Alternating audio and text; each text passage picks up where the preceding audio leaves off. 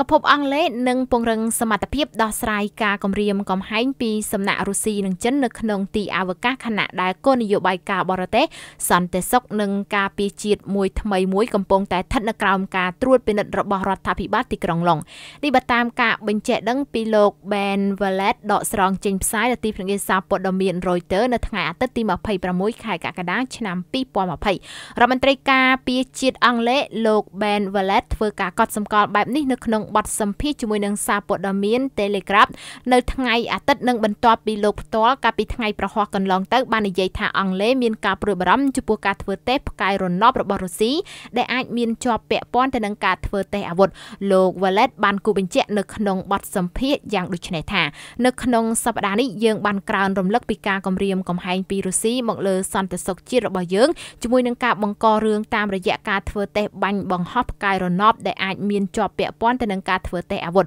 លោក Wallet បន្ថែមថាក្រៅពីរុស្ស៊ីចិនក៏កំពុងតែបង្កការគំរាមកំហែងដូចគ្នាផងដែរគូបញ្ជាក់ផងដែរថាទំនាក់ទំនងរវាងអង់គ្លេសនិងរុស្ស៊ីបានស្គាល់ភាពតានតឹងយ៉ាងខ្លាំងនារយៈពេលប៉ុន្មានសប្តាហ៍ចុងក្រោយនេះដោយសារតែទីក្រុងឡុងបានដាក់ទណ្ឌកម្មថ្មីមួយទៅលើរុស្ស៊ីដោយចោទថាទីក្រុងមូស្គូបានលុកលាន់ចូលកិច្ចការបោះឆ្នោតអង់គ្លេសកាលពីឆ្នាំ